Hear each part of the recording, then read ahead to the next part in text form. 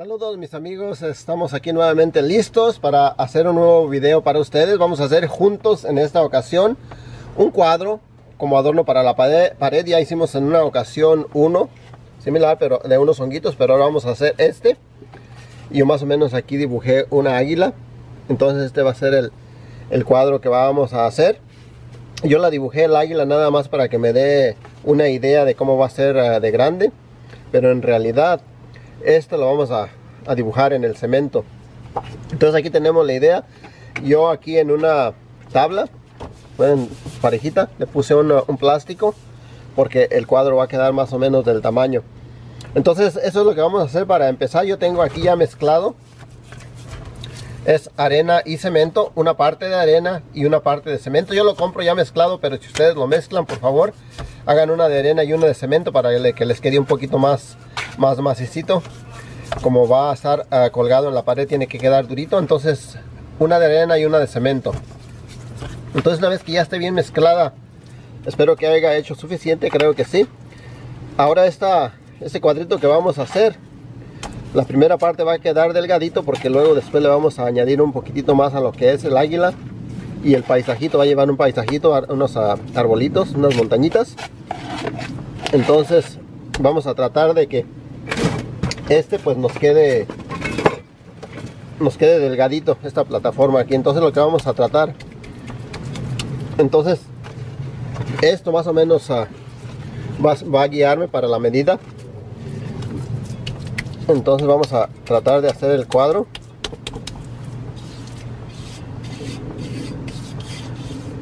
Entonces eh, no, no, tiene que quedar este uh, súper cuadrado. De hecho yo estoy pensando que ya cuando lo termine quizás le voy a cortar un poquito las esquinas para que no quede bien cuadrado que quede más o menos este uh, pues uh, no en, redondo tampoco sino en forma como de eh, angular verdad triangulito vamos a ver uh,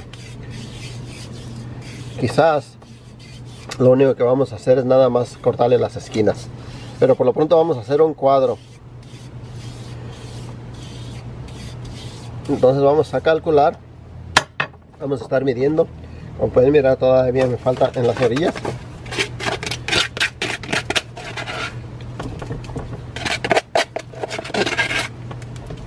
Entonces lo que vamos a hacer creo que ya con ese cemento va a ser más que suficiente. Lo que vamos a hacer es que lo vamos a extender para que no nos quede tan grueso porque como está grandecito el carrito ustedes ya pueden mirar que va a quedar un poquito pesado. Entonces como les dije el águila va a ir aquí en medio y todavía le vamos a poner a, hacer la figurita del águila y algunos otros dibujitos detallitos. Entonces va a quedar un poquitito más pesadito. Entonces vamos a tratar lo más que se pueda de hacer esta plataformita delgadita entonces lo vamos extendiendo.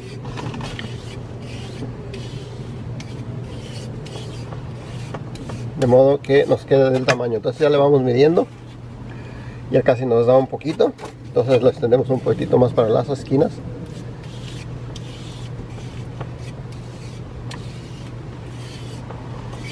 Muy bien y ya cuando más o menos esté el cuadro figurado entonces vamos a asegurarnos de que todo quede igualito no les quede más grueso de un lado y más delgadito de otro. Entonces ahí lo vamos a ir viendo. Si tienen una cucharita como esta o una más grande para este trabajo también se puede utilizar una más grande. Yo tengo dos clases de cucharitas pero por alguna razón me gusta más esta. Entonces pueden utilizar una similar entonces o, con una espátula también se puede alisar el punto aquí es que nos quede bien parejito. Entonces es lo que vamos a hacer. Ahorita que ya terminemos el cuadrito que ya lo tengamos cuadradito les voy a mostrar el siguiente paso.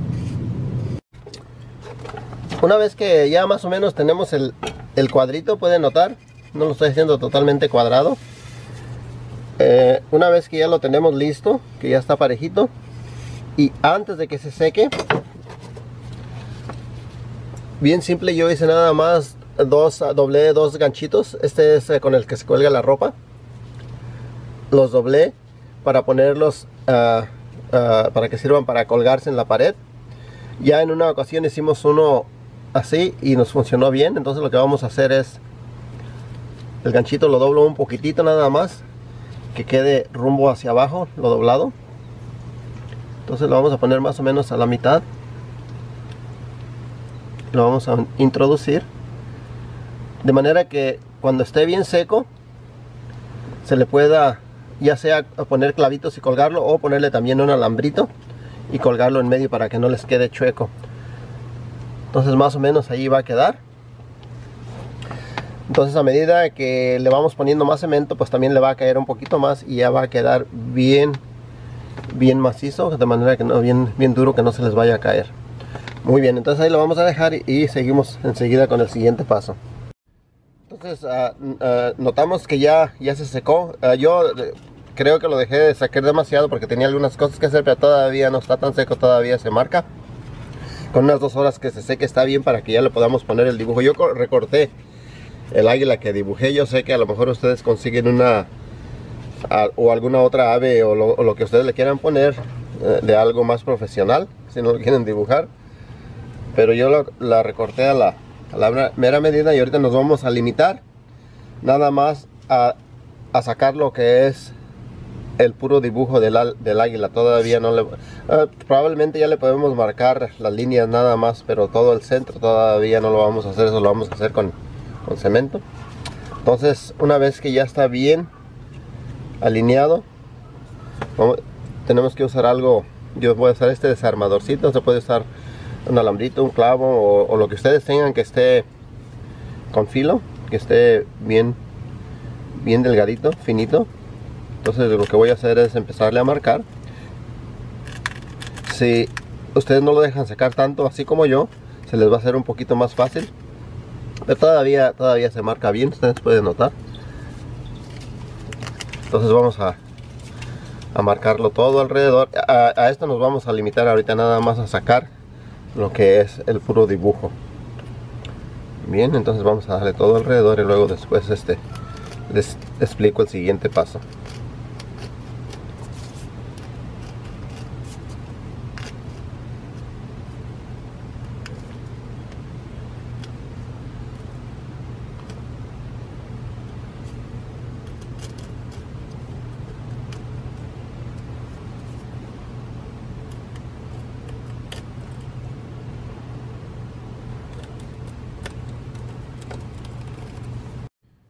Bien, entonces una vez que ya le, marcamos, como ustedes pueden notar, pues tiene líneas. Tiene líneas en las alas también. Entonces lo que vamos a hacer, basándonos en el dibujo, es marcarle primeramente las líneas. Y lo único que nos va a tocar marcar aquí es esta parte. Ahorita la voy a marcar también. Y lo que van a hacer las patitas. La cabeza luego lo vamos a hacer con más calma. Le voy a poner un poquito más de cemento porque va a quedar un poquito altito. Eh, y lo vamos a hacer con más calma. Pero ahorita lo que voy a dedicarme es a marcar esto y esto. Para eso pues nos vamos a basar en el dibujo. Entonces lo que vamos a hacer es en cada ondita pues le vamos a hacer una línea, ¿verdad? Y así sucesivamente. Puras líneas. Y en las alas obviamente también. Ahora las alas llevan dos divisiones de líneas, primeramente una más ancha y luego una delgadita. Entonces basándonos en este dibujo que hice yo más o menos, lo vamos a marcar aquí. Pero para eso pues se requiere mucha paciencia, así es de que yo lo voy a empezar a marcar y luego les, les muestro cómo quedó. Pueden notar eh, que ya, ya terminamos más o menos lo que es el dibujo. Esto ya está bien seco. Yo lo dibujé hace un rato, y todavía no estaba tan seco, pero ya está seco y miren, eh, no quedó muy grueso por la razón de que como está grande, pues no quiero que esté muy pesado. De todas maneras, ahorita va a, llevar más cemento, como les mencioné. Va a estar un poquito más grueso de lo que está ahorita. Pero ahí está. Eh, pueden notar que le dibujé bien lo que es el águila. Entonces yo nada más simulé aquí como que son unas montañas. Aquí le vamos a poner arbolitos. Pero todo eso va a llevar cemento arriba. Entonces no tiene que quedar bien dibujado porque ese no es eh, eh, no, va, no se va a basar pues en el dibujo, sino en el cemento que le vamos a poner.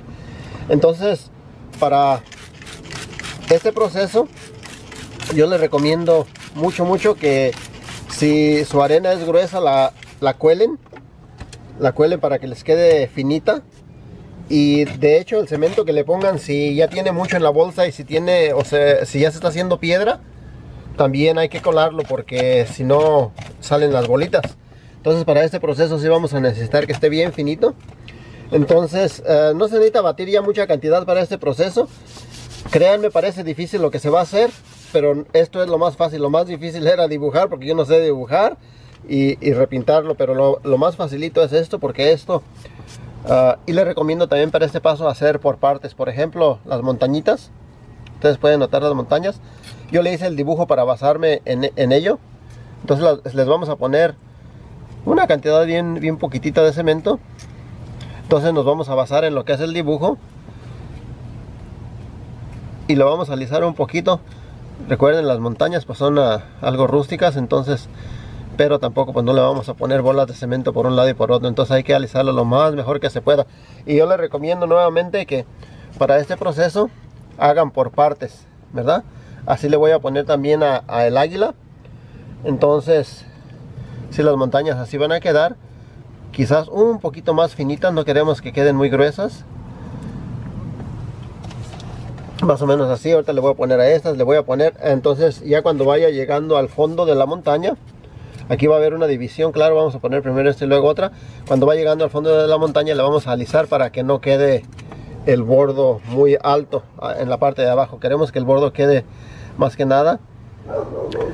Esta va a ser una división de la montaña, entonces si queremos que se note la división, entonces vamos a hacer más o menos así. Nomás les estoy mostrando, claro, ahorita con más paciencia se, se modifica este trabajo.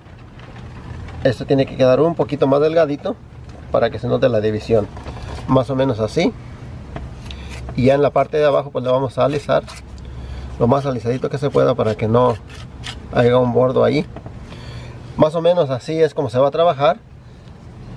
Claro ustedes van a notar que con paciencia y con calma pues se hacen las cosas más mejor. Ahora respecto al águila yo les sugiero como les mencioné que lo hagan por partes. Por ejemplo vamos a hacer lo que es el cuerpo del águila es un ejemplo nada más. Entonces le vamos poniendo sin pasarnos de la línea para que no desperdicemos el dibujo que hicimos. Entonces le vamos a ir poniendo cemento lo que es en la línea para eso lo dibujamos. Y esto con mucha paciencia lo vamos a llenar todo.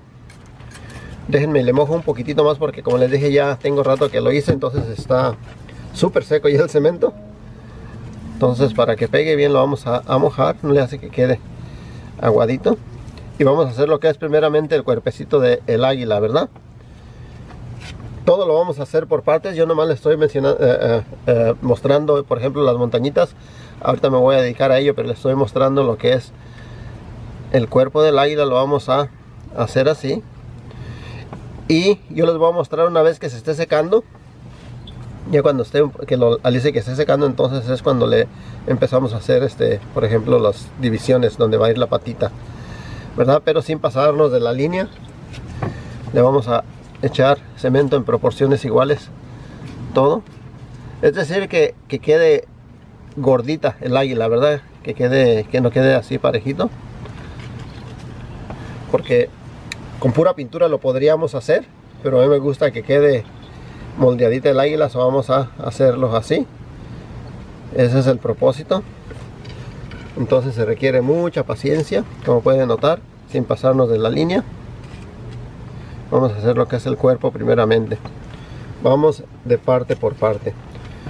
Por eso les dije, no, puede, no tienen que mezclar mucho cemento porque se requiere mucho tiempo y muchas de las veces el cemento pues, se nos puede secar en lo que terminamos una parte. Entonces más o menos ese es el cuerpo. Nos vamos a basar en la línea. Nuevamente. Lo que es la línea entonces lo vamos a alisar. Y van a ver que ahorita no se mira muy bien todavía puesto que no ha terminado pero van a ver al terminarlo se va a mirar muy bonito de esta manera. Entonces vamos a alisarlo lo más que se pueda. Y para el siguiente paso, por ejemplo, cuando le vaya a hacer estos, pues voy a, dejar que se seque un poquito este para que no, no se mezcle. Como ustedes pueden notar aquí en las montañitas se me mezcló junto y es muy difícil las divisiones pero si hacen una montañita primero y luego la otra les va a salir mucho mejor. Y así vamos a hacer paso a paso hasta que terminemos toda el águila. En esas partes le voy a poner arbolitos así es que también va a ser el mismo proceso y ya les muestro después cómo queda. Entonces seguimos trabajando aquí en, en ah, el águila. Como pueden notar yo le puse nuevamente cemento al cuerpo. Entonces ya le figuré aquí más o menos dónde va a ir el cuello y como pueden notar le hice algunas hendiduras para que parezca que son las plumas. Ustedes pueden notar este son, unas ah, ah, curvitas nada más. Entonces en, cuanto a las alas ya pueden notar yo le, le corté eh, esta ya está cortada. En esta todavía estoy trabajando entonces le puse cemento le hice las líneas. Esta lleva líneas uh, como en tres partes del la pueden notar una aquí otra aquí y otra aquí. Claro con la pintura se va a notar un poquito más. Entonces pueden notar que en las últimas yo le hice un cortecito para que se mire la división. Eso es lo que estoy haciendo en esta. Se le corta un poquito de cemento en las puntitas. Entonces se marcan bien las líneas. Entonces estas líneas van a ir un poquito más hacia arriba estamos trabajando en eso y estoy trabajando también en lo que es la parte de atrás del águila. Como pueden notar también le marqué donde le estoy cortando el cemento porque esto es la parte trasera esto va a ir de blanco de color blanco así es de que se va a distinguir bastante. Entonces para eso también en cada en cada curvita le vamos a hacer una línea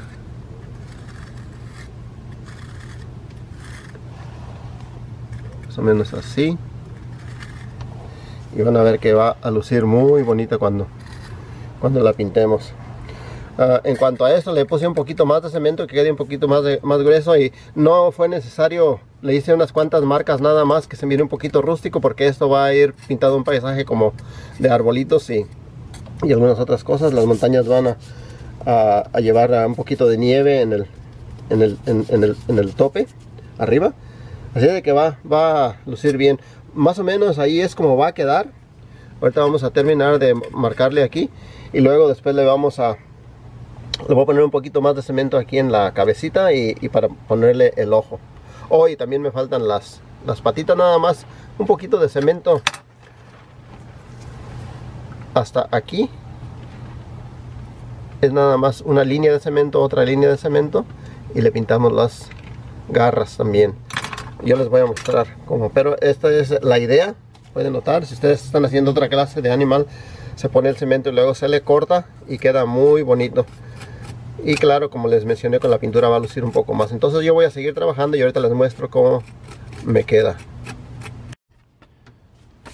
Como pueden notar ya está figurada lo que va a ser la el águila y, y pues en sí toda la todo el paisaje ya está listo.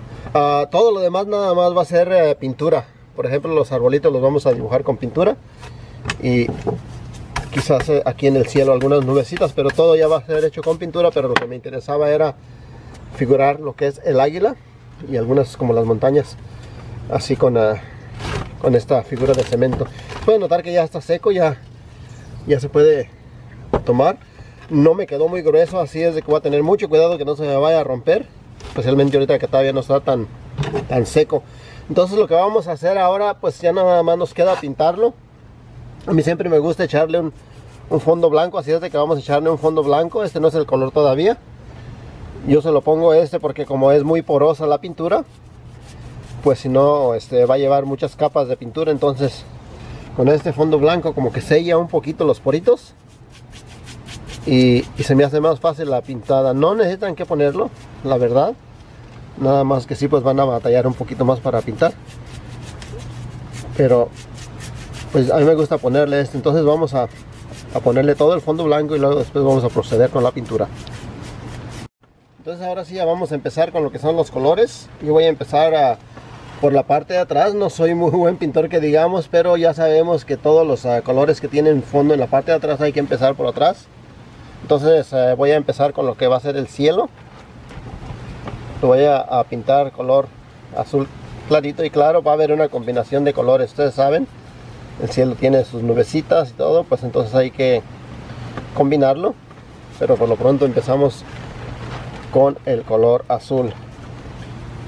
También les quería mencionar que yo estoy utilizando pintura para exteriores porque pues eh, en, los videos que hacemos casi todas las cosas que hacemos son para afuera para el jardín entonces yo manejo mucho esta pintura para exteriores pero en esta ocasión como este cuadro lo vamos a colgar adentro de la casa como adorno entonces pues obviamente no necesita pintura para exterior yo lo estoy usando porque yo tengo mucha pintura pero se puede combinar con acrílicos ¿verdad? de hecho yo voy a como, como, es una variedad de colores lo que vamos a utilizar voy a, combinarlo con acrílicos en esta ocasión estoy poniendo este para exterior aquí afuera pero algunas uh, partecitas va a llevar acrílico.